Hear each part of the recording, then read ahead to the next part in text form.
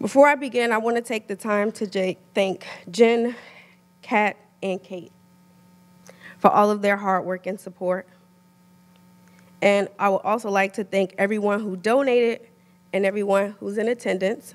So shout out to Team Kia.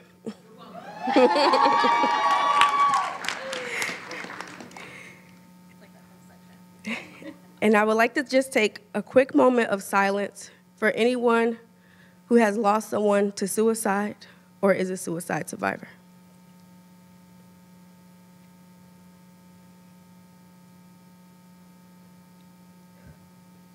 Thank you. Imagine you're in the middle of the ocean, but you cannot swim. You're flapping your arms just to stay afloat, just enough to keep your head above water. You never quite drown, but you're in a constant state of panic. Well, that's what having generalized anxiety disorder feels like to me. Now imagine having a ton of bricks on top of your body. You're paralyzed, so you can't push the bricks off. No matter how hard you try to stop, your suicidal thoughts, they scream louder. You're scared to be alone because you fear that you will act on your thoughts. Well, that's what having major depressive disorder feels like to me. When most people look at me, they see a young, vibrant, silly, and ambitious young lady. They see my accomplishments, a bachelor's degree from Howard University, HU, and a master's degree from Georgetown University. Or maybe a few of the celebrities that I've been blessed to work with within the career entertainment industry. So when I started talking about major depression and generalized anxiety disorders, I was so surprised and hurt by the responses I received, like, You seem so happy and like you have life figured out. Or the time I told a relative that I was hospitalized for depression and anxiety. And she said, Oh, I thought you had cancer. My response was no, but I attempted suicide twice. Illnesses such as diabetes and cancer are socially accepted, but my mental illness is not?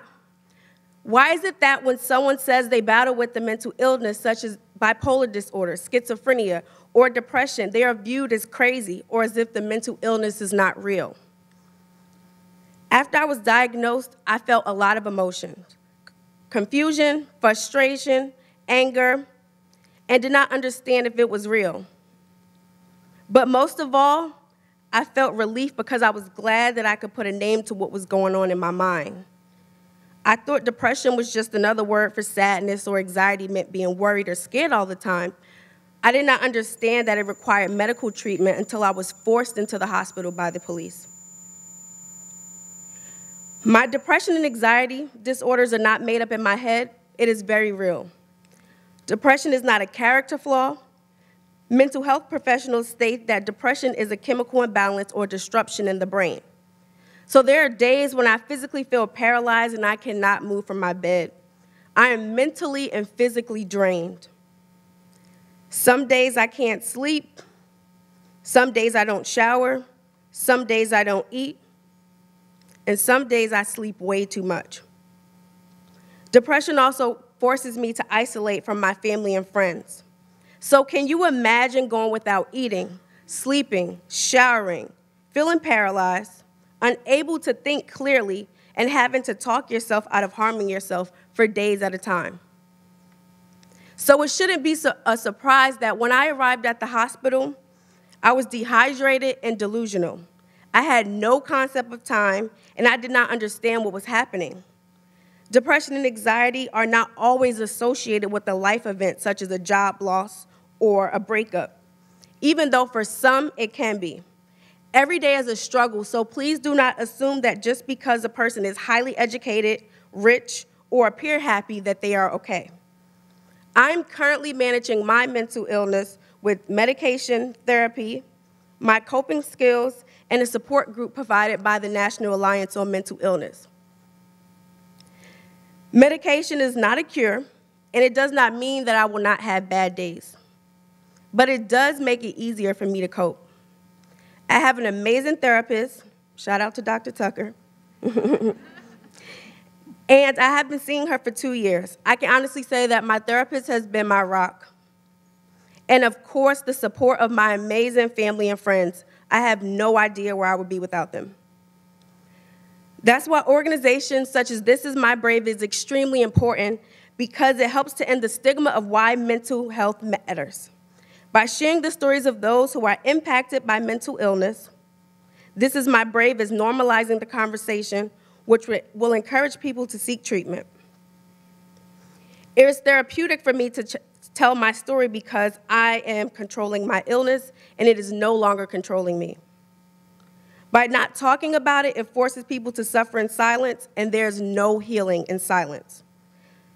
That's why when I'm struggling with my suicidal thoughts, I tell my therapist and the people in my support, support system, yes, it's scary and it's very uncomfortable, but it's when I need them the most. Many times I'll say things like, no, I don't need you to come over. No, you don't have to call me. But on the inside, I'm screaming, help me, please. Because I don't want, but I don't want, also don't want to feel like a burden. It does not mean that I want to express my emotions if you come around or my thoughts, but just your presence is good enough to get me through. So when your child, friend, or sister come to you and say they are depressed or hurting emotionally, Please do not dismiss them because you could be the one to save their life. Thank you.